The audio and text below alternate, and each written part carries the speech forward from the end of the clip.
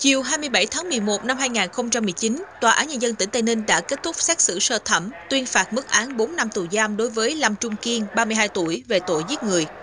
Theo cáo trạng, chiều 7 tháng 12 năm 2018, Kiên hẹn với nhóm bạn là Cao Công Tới, Nguyễn Thái Hiệp, Hồ Tấn Kiệt cùng đi câu cá ở bờ kè rạch Tây Ninh thuộc phường 2 thành phố Tây Ninh. Cả bốn cùng nhau câu cá đến khoảng 1 giờ 30 phút sáng 8 tháng 12 thì tới đi xe Exciter, còn Kiên lái ô tô Vios chở hai bạn ra về. Khi đến vòng xoay Trường Nam, tới gặp nhóm hiệp sĩ phòng chống tội phạm tự thành lập gồm Trịnh Trần Quốc Thống, Võ Văn Minh, Nguyễn Lâm Đăng Trường, Nguyễn Minh Hải Đăng, Phan Chí Cường. Do nghi ngờ tới là trộm cắp nên nhóm Nguyễn Lâm Đăng Trường đuổi theo. Tới thấy nhiều người rượt đuổi nghĩ là cướp nên tăng tốc bỏ chạy.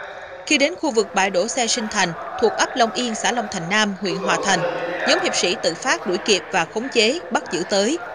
Cùng lúc này, nhóm của Kiên gọi điện thoại cho tới, khi có tín hiệu bắt máy thì chỉ nghe được tiếng tới kêu cứu. Sau khi bắt tới, nhóm hiệp sĩ tự phát khống chế đưa tới về trụ sở công an phường 2 để làm việc. Thống và Cường chạy hai xe máy phía sau, Nguyễn Lâm Đăng Trường điều khiển xe Exciter của tới. Lúc này, nhóm của Kiên nghĩ tới bị cướp nên Kiên điều khiển xe ô tô quay lại tìm. Khi vừa qua ngã ba mít 1 huyện Hòa Thành, nhóm của Kiên nhìn thấy tới đang bị nhóm hiệp sĩ tự phát khống chế. Thấy vậy, nhóm của Kiên gọi điện thoại cho lực lượng 113 hỗ trợ nhưng không gọi được.